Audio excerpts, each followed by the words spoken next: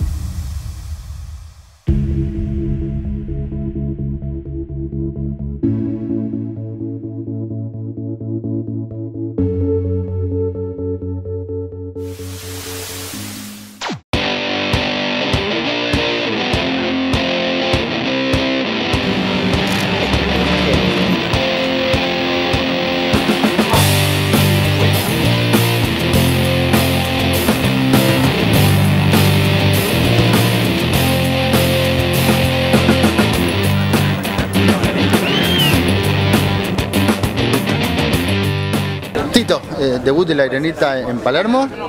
Venimos eh, subiendo escalón tras escalón, el equipo cada vez mejor.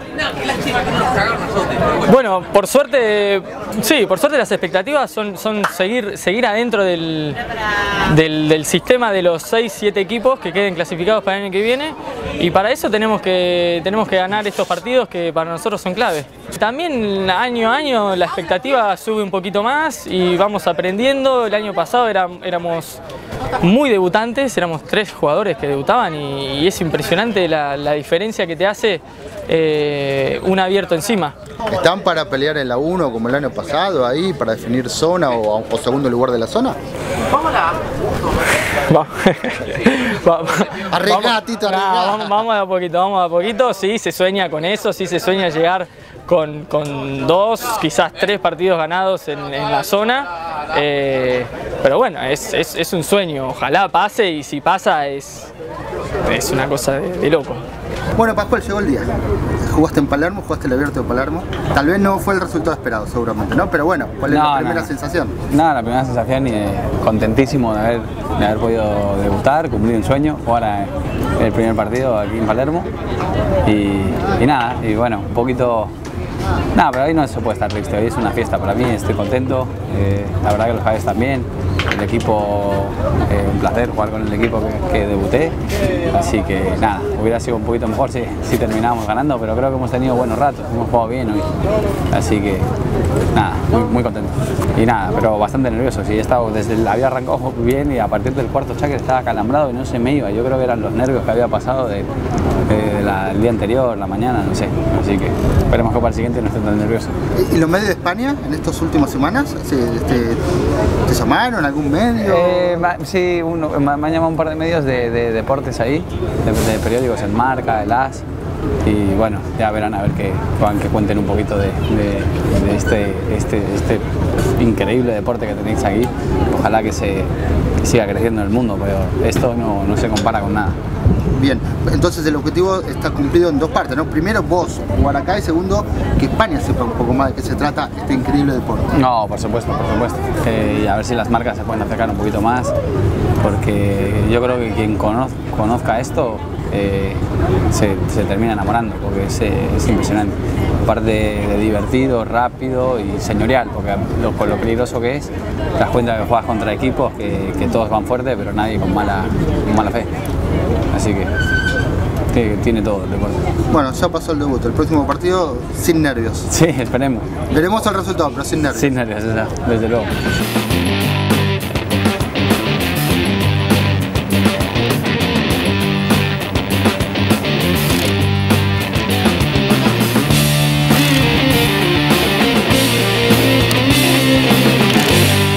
Alfredo, ¿qué estabas haciendo en septiembre? ¿Qué estabas pensando?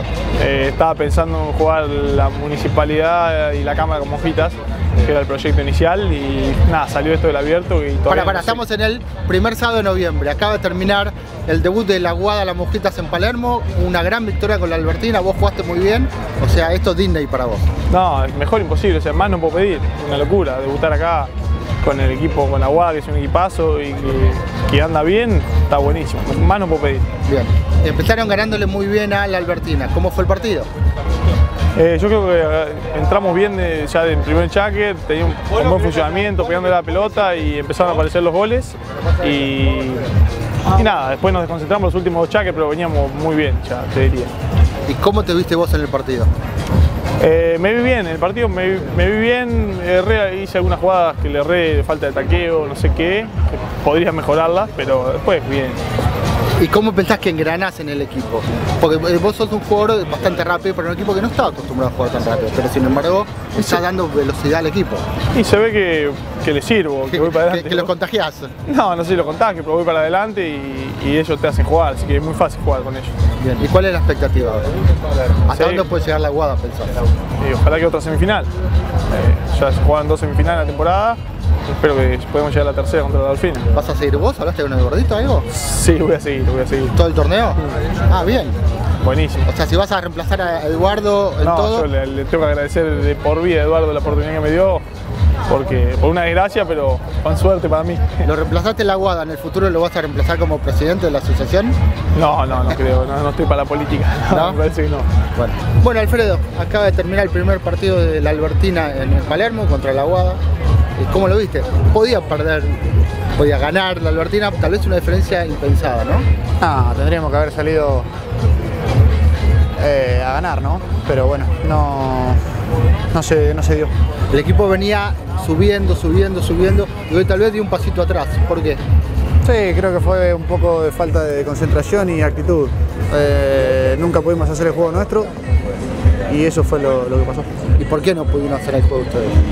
¿Mérito de creo- eso? ¿Culpa de ustedes? No, creo que la Iguada impuso un ritmo que a ellos eh, les sale muy bien, eh, jugaron muy un gran partido y nosotros no, como te decía, nunca pudimos hacer el, el juego nuestro y, y- y eso. Igualmente era un partido dentro de los perdibles, o sea, de lo que viene en adelante tienen partidos a los que apuntan más fuerte para tratar de ganar y quedarse entre los en el, en el fixture del año que viene. No, no, no, la Albertina va va a salir a ganar todos los partidos que pueda, no, no es que eh, dejamos para pasar este para ganar los otros dos, la verdad que eso No, no, no dejar pasar, pero digo, duele menos perder este que tal vez otro si es que pierden. No, la- el sabor de la derrota duele, duele perder contra todos, la verdad que no, no es lo que estamos queriendo, ¿no? Bien. ¿Las expectativas igual están altas? O sea, es un mal día nomás. Sí, creo que fue un mal día. Eh, como te decía, nunca pudimos hacer el juego nuestro, no, no nos conectamos y, y bueno, la Guada jugó muy bien. No que, no que sacar el mérito a ellos, pero jugaron muy bien.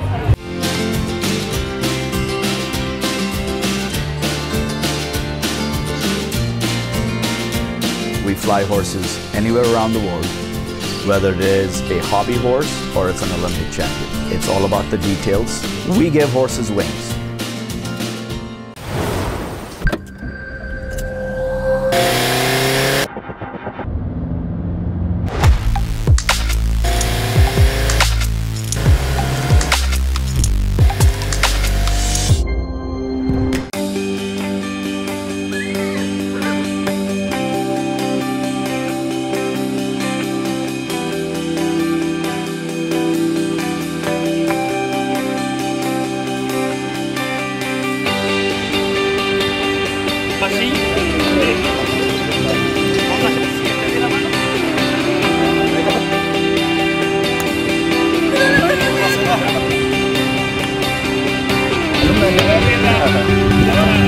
Bueno, atrás tuyo está, estamos parados en la cancha de Palermo, pero atrás hay un escenario poco habitual en el polo. Contá qué está pasando.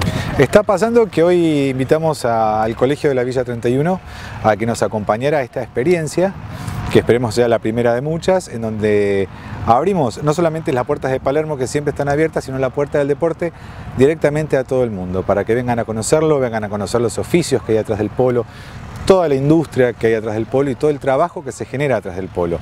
Porque uno ve el, espectáculo increíble los maravillosos jugadores que tenemos en todos los niveles y atrás de eso hay eh, un universo que es infinito y que es importante que se dé a conocer a todo el mundo.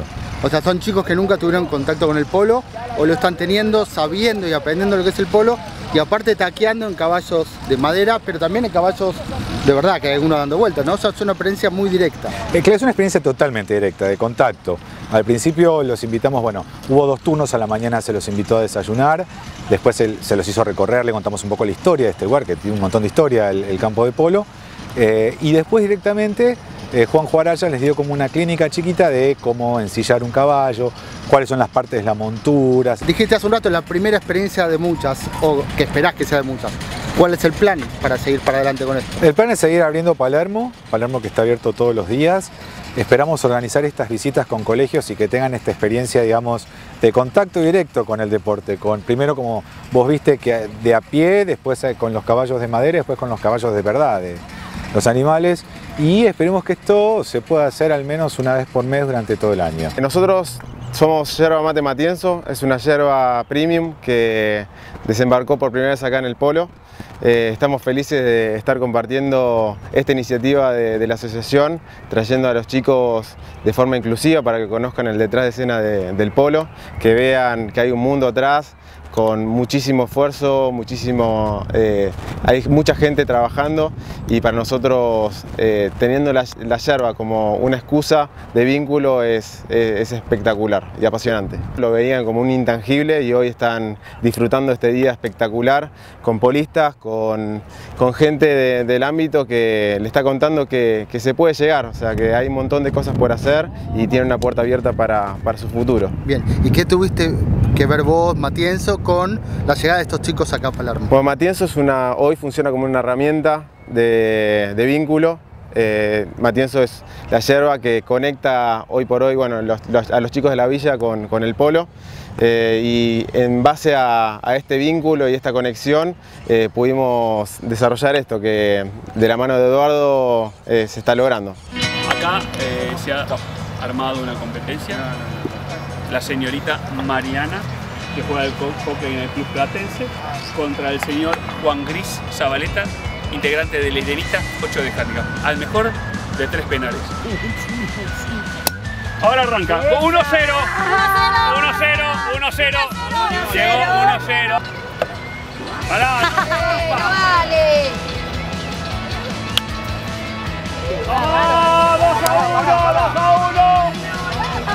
Mariana. Seguí practicando, decir negrito. Seguí practicando. Vamos, chicos, necesitamos todo, queda todo. bueno, Tania, contá un poco qué estás haciendo acá en Palermo. Eh, bueno, vine eh, del colegio, soy del colegio Filiday y nos invitaron a venir a conocer un poco lo que es el deporte del polo. Ah, nos dijeron que íbamos a subir a caballos, que nos iban a enseñar y nada, acá estamos y la verdad hasta ahora la estoy pasando muy bien. Desde que me subí a este caballo no lo dejé más porque me encantó y nada, ya más o menos sé las, las reglas, digamos, básicas y estuve practicando y más o menos lo puedo controlar y demás. Así que nada. ¿Vos ya sabías andar a caballo? Solamente una vez en mi vida me subí y con un, con un guía, digamos. Bien. O sea, para segunda vez que te subís acá, claro, muy bien. Lo dejas suelto y hasta le pegás a la bocha, o sea, te quedas, o sea, ya sos una crack de polo casi. sí, sí, no sé, me gustó bastante. ¿Es, difícil pegarle a la bocha? Eh, no, sí es un poco difícil porque el palo es muy, muy pesado, digamos. Tenés que levantarlo, tirarlo por atrás y después con un poco de fuerza pegarle. Y a veces arriba del caballo, estando tan lejos del, del piso, es muy difícil llegar a embocarla, digamos, a pegarle bien. Bien. En un rato termina la actividad, ¿vos te vas con tus compañeros o te quedas acá hasta la noche? No, me voy con el caballo. ¿Con el caballo te vas para allá?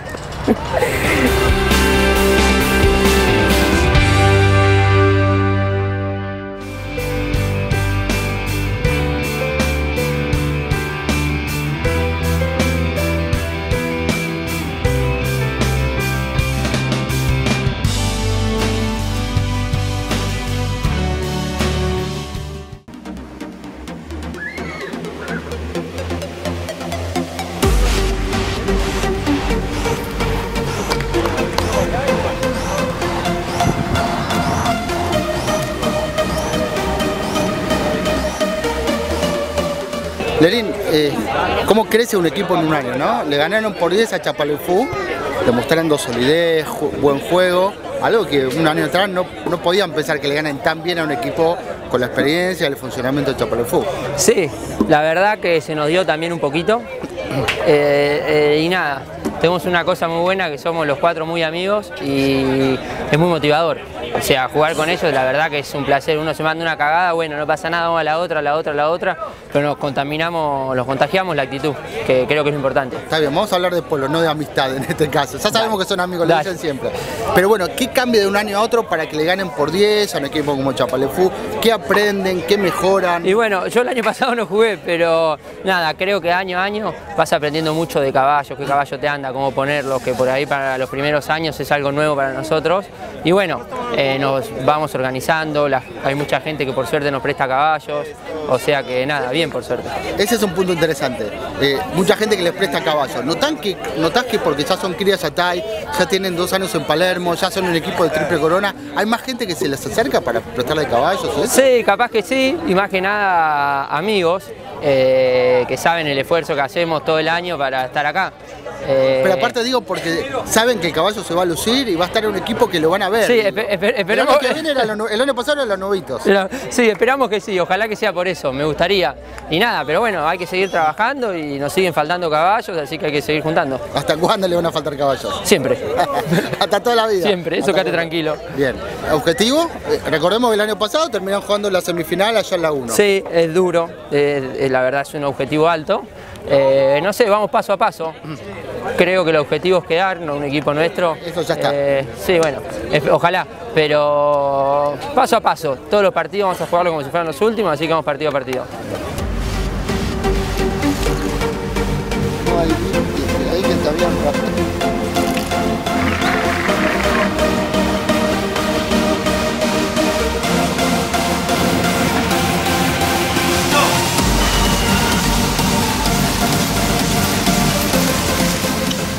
Tarango, tu amigo te pregunta, ¿cómo te sentiste? ¿Debutaste en Palermo? Debuté en Palermo. ¿Qué cosa? Nunca, hubiese pensado eso. Nunca hubiese pensado. Bueno, lo hiciste. Y no estuvo tan mal. Tratamos siempre de hacer lo mejor posible, ¿viste? Hay veces que no te sale y y te dan por tierra mal. Bueno, hoy no, dieron, hoy no dieron, por tierra, por lo menos, pero en forma más digna, yo creo que. Eso. Son superiores. Son ante un rival superior a Alegría, al final Polo Ranch tuvo una derrota digna. Parecen los Pumas. Está clarísimo. Ya no, no hay que quedarse con eso toda la vida tampoco, ¿viste? pero bueno. Esta vez por ser el debut, zafamos. ¿Quedaste conforme con cómo rindió el equipo? Sí, sí la verdad que... Digamos que el partido con alegría sirve para rendimiento pensando en lo que vendrá. hay que tratar de cuidar el sistema que tenemos y yo creo que contra el equipo es, muy importante porque aparte ellos te hacen caer en el desorden en dos minutos, ¿viste? Y hoy tuvimos momentos que nos desordenamos, que yo creo que nos metieron en una peloteada, pero después ya por lo menos sabemos un poquito para qué, para dónde vamos, creo, ¿no? No sé cómo se ve de afuera, pero adentro por lo menos tenemos cierto orden y tenemos un sistemita armado. Y eso yo creo que sí. Si logramos mantenerlo, va a ser palo y palo todos los partidos, los que tenemos que ganar realmente.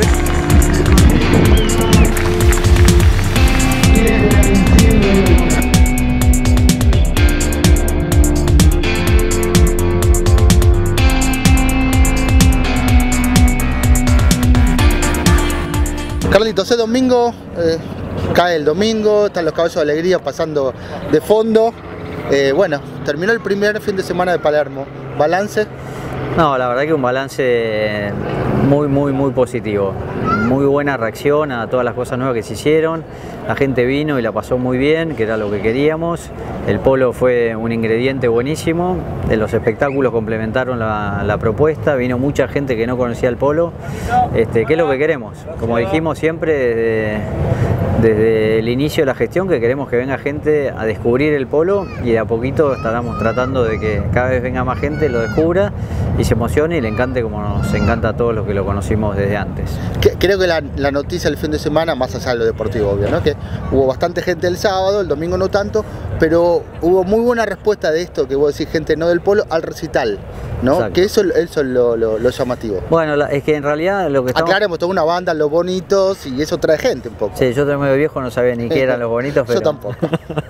Pero la realidad es que es eso, o sea, la verdad es que vamos a querer armar 11 eventos, que además tienen dos partidos de polo en cada evento.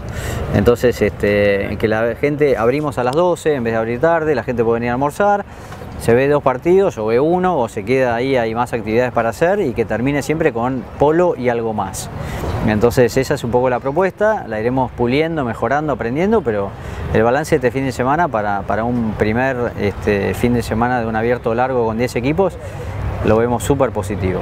O sea, ese es el resumen, ¿no? Es- el primer abierto, esta nueva gestión, eh, y el resumen es polo y algo más. Eso es lo que están buscando. Definitivamente, sí. Polo algo más y que la gente venga a disfrutar en familia y, venga más gente, este, la gente del polo, que obviamente son los habituales, pero que venga más gente a descubrir este deporte en un lugar céntrico de, la, de una de las ciudades más lindas del mundo, ¿no? Julio, eh, tenemos Palermo de fondo, tenemos stand de Río Uruguay Seguros. A full, a pleno, Full. Palermo. ¿Qué significa para la marca estar acá con stand, Palermo de fondo? ¿Vos o yo? Presentala si querés. Bueno, te presento a Jessica Toscanini, ¿Qué tal? es la embajadora de Río Uruguay en el polo. Bien, bueno, contestá vos primero qué significa para Río Uruguay Seguros y después le preguntamos a Jessica qué significa ser embajadora de la marca. Muy bueno. Este, la verdad que ante este inicio nuevo de esta temporada, que realmente es, muy buena, hemos visto dos fechas espectaculares, significa mucho. Por suerte vamos creciendo dentro del polo, que como bien vos dijiste, es un deporte que venimos apoyando hace mucho y la verdad que estamos muy contentos. Ya es como este año más que nunca como un sinónimo ¿no? de seguros en el polo Río Uruguay, ¿no? Por la cantidad de torneos, asociaciones, equipos que tienen. No sé, me lo dicen y me emociono y entonces no quiero hablar de Pero ese sí. tema. Sí, creo que sí. Bien, y eso te hace emocionar. Y sí, son muchos años, más de 20. Bien. Jessica, ¿qué significa para vos ser embajadora de la marca? Ser embajadora de Rus en el polo es la verdad un paso enorme porque aparte de que está incursionando en esto, bueno, él hace muchos años que está metiéndolo en el polo, pero recién ahora se da toda esta explosión de golpe que vos decías y la verdad es que acompañarlos a ellos y a la empresa es un paso enorme para mí como persona, también como, como modelo y como conductora para lo de Rus Polo TV, que es algo nuevo, eh, muy innovador y a mí me encanta hacerlo también. Objetivo 2018. Seguir creciendo, seguir acompañando a, a las instituciones del polo. Nosotros somos una empresa del interior, nuestra casa matriz está en Concepción del Uruguay y le hemos hecho una propuesta a la asociación para hacer un circuito bien fuerte en el interior y apoyar el polo en el interior. Yo digo, es Esa es personal. una buena noticia, sí, es personal, eh, una, una percepción personal. Yo creo que el polo tiene más de 10.000 jugadores. Creo que el polo en el interior es grandísimo. Creo que hay que fomentarlo y apoyarlo.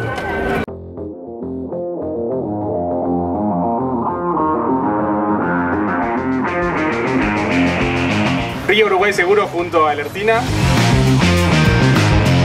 Gracias Río Uruguay por acompañarnos una temporada más.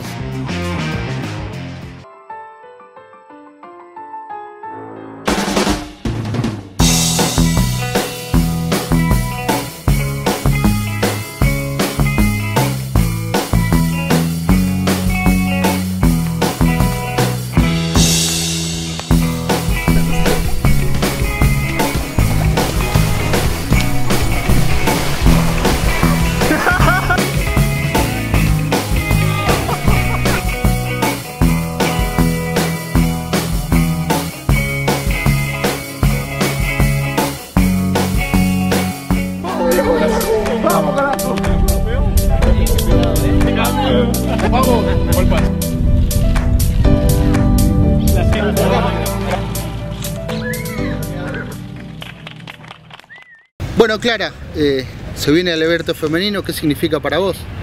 Y la verdad que es casi un sueño para nosotras porque siempre quisimos jugar, que, que se nos dé lugar y por suerte se nos da, así que es buenísimo, tenemos que aprovechar la oportunidad esta que tenemos y sí, obvio, está buenísimo, la verdad que está bueno para las mujeres poder tener un, un torneo que sea el mejor y que todas las mujeres desde chicas se inspiren a llegar a, a esto como los hombres.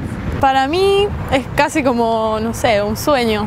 por así decirlo, porque la verdad que, no sé, es el primero que va a ver y no sé, es como un sueño cumplido casi. Y el torneo lo veo eh, como que se está haciendo cada vez más grande, más importante. Arrancamos con, diciendo sí el abierto, pero se está, se está, está empezando a, hervir, digamos, y, es lo ruido, a ver ruido. sí, va poniendo un poquito de nervios, pero contenta, contenta por... La verdad que es un sueño, eh, es un lujo estar acá. Eh, muchas gracias a Milo, a Adolfo y todos que lo hicieron posible. La verdad que nunca pensé que iba a llegar a jugar el abierto femenino acá y con jugadores legendarios y bueno, compartiendo cancha. Bueno, la verdad que es un gran honor jugar acá este torneo en Argentina. Eh, me parece que es un, es un avance enorme para todo lo que es el polo femenino eh, en el mundo. Es importantísimo el, lugar que nos están dando hoy en día acá en, en, lo que es el mejor polo del mundo. Eh, la verdad que estoy muy contenta de poder formar parte. Una gran oportunidad de jugar aquí en Palermo y representar a las mujeres en el mundo. Bien, ¿esperabas esta oportunidad o cómo fue cuando te dijeron que podías jugar Palermo? ¿Cómo lo tomaste? Yo venía como suplente y una de las compañeras no puede venir y ahora estoy de equipo. O sea, una gran...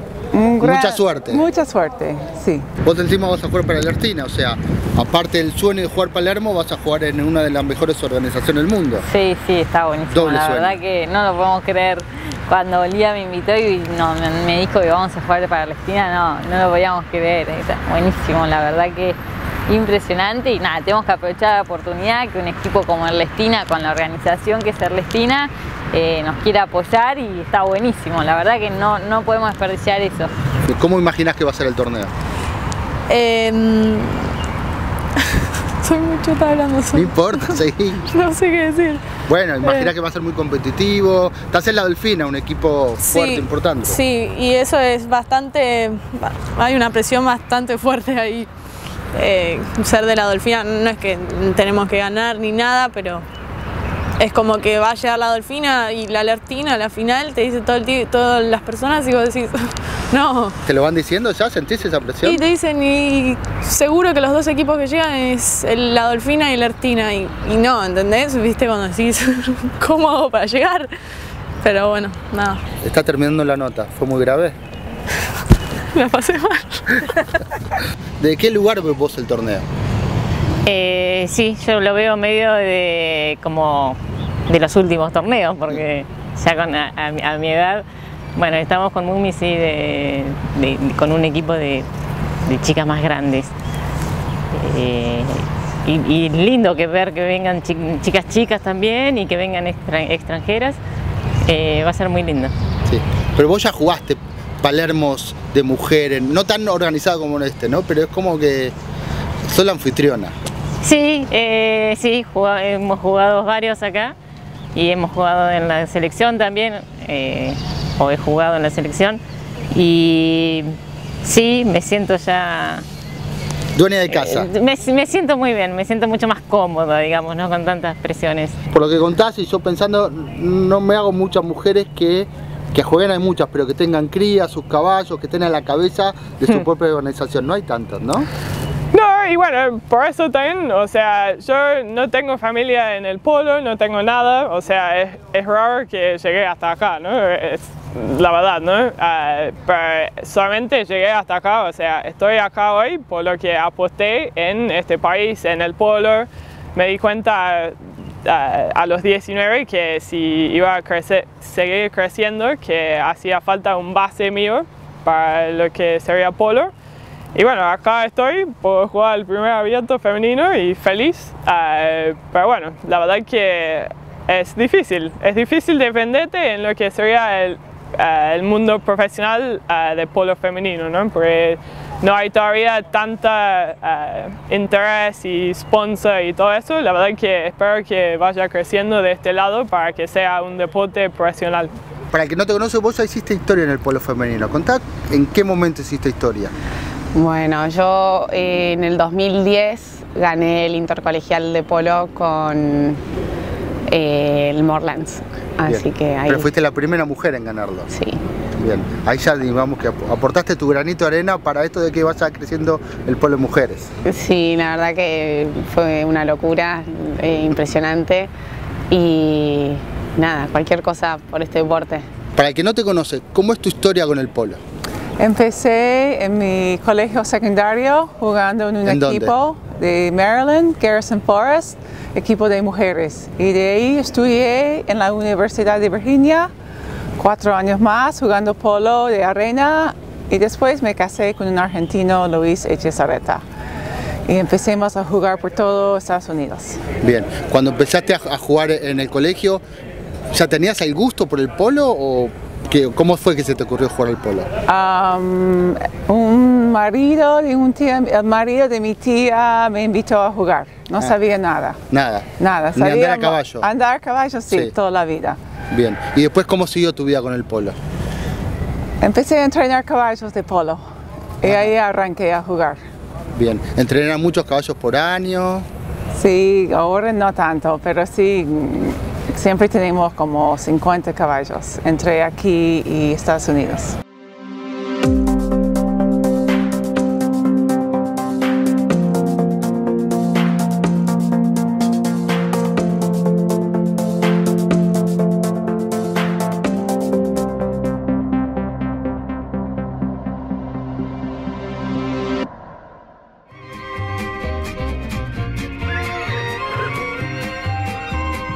Bueno, Lucio, a ver, contanos un poco. Estás jugando la final del Mundial, de repente te queda una bocha, vas corriendo, haces el gol. ¿Qué pensás en eso? O sea, ¿qué pasa por tu cabeza cuando estás por hacer el gol más importante de tu vida? Nada. ¿Nada? Nada. Nada. ¿Y cómo fue? Frío. ¿Frío? O sea, Muy frío, sí. como si estuvieras jugando una práctica en tu club. Y lo traté de pensar lo más frío posible, lo más tranquilo posible. Bien, ¿cómo fue la jugada? Eh, throwing, llegamos al medio, throwing sale eh, los chilenos atacando, Tommy Panelo defendiendo, tira un backhander, pasa el backhander, lo recibe el back de Chile y tira un backhander cola al cual yo salgo a taparlo, me pega en la rodilla y me rebota adelante. Y ¿Tu rodilla? En, mi- en la, en la montura y en la rodilla Ajá. y me queda la pelota adelante. Y ahí salgo ya con el chileno fuera de juego, solo para el arco. Y creo que fueron dos o tres toques hasta llegar al arco. Bien. ¿Y te iba cambiando la cara o las, las pulsaciones cada vez que estabas más cerca del miembro? Decía, lo hago, lo hago, lo hago. En la última, ya cuando no la tuve que tocar más y entró, pero no, antes no, ¿qué iba a cambiar? Un susto. Bueno, con ese gol Argentina ganó el Mundial. Sí. ¿Qué significa para vos haber ganado el Mundial? No, la verdad que para mí, para el equipo y para eh, todos los que creyeron que, que podíamos hacerlo. Uno de ellos, Daniel González, que bueno, fue el coach nuestro en, en Uruguay, que nada, después no pudo ir y vino el crack del topo que funcionamos como equipo y con él como coach bárbaro. La verdad que para mí espectacular. Los compañeros tuyos más grandes, Héctor y, y Valentín, decían esto de que eh, la sensación rara es difícil. Argentina está obligado a ganar el Mundial. Entonces, vas a todo o nada. ¿A vos te pesaba eso? Yo no sé si esa- eso que dicen que Argentina está obligado a ganar el Mundial. Argentina, yo creo que es, un torneo como cualquier otro de 14 goles, limitado en su hándicap, ¿no? Con, vas a jugar caballos que vos no conocés, lugar que no conocés, eh, y con jugadores de todo el mundo que juegan ese polo bajo eh, igual o algunos inclusive mejor que uno. ¿no? no es que porque sea Argentina está obligado a ganar. Sí tenés la presión de la celeste y blanca, más vale, pero qué sé yo, no sé. Chile, eh, a ver, ha ganado varios mundiales, eh, Inglaterra, Estados Unidos. Pero Argentina es Argentina, Lucio. No, más vale, Argentina es Argentina y eso pesa, pero yo no creo que Argentina, por ser Argentina, tiene que ganar todos los mundiales, si no, no, no tendría sen- ningún sentido, ¿no?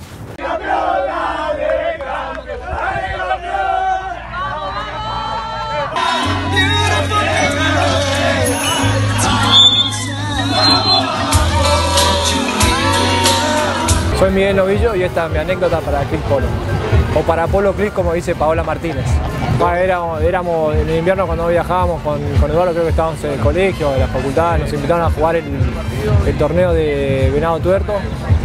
eh, el torneo más importante de Venado Tuerto.